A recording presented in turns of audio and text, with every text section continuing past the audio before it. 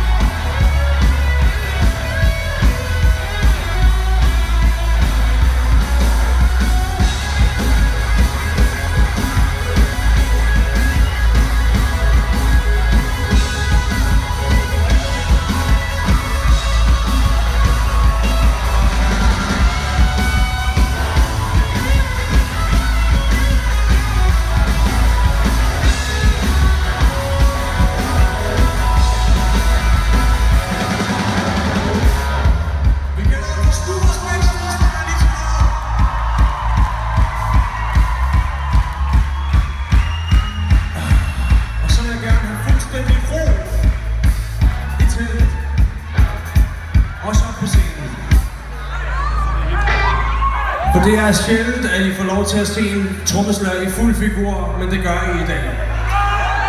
Det giver vi jer, mine damer og herrer, Morten Lyngård.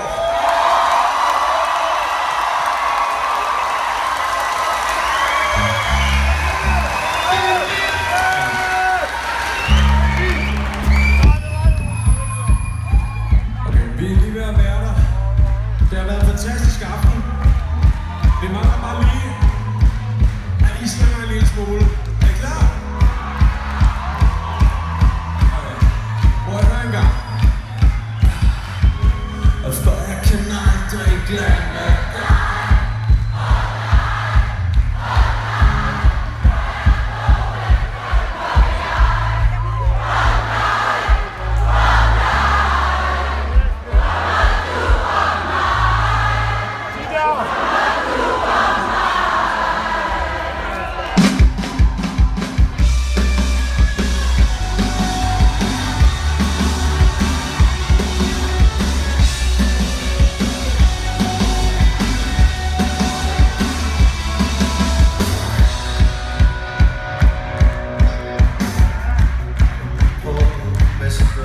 that was pretty good.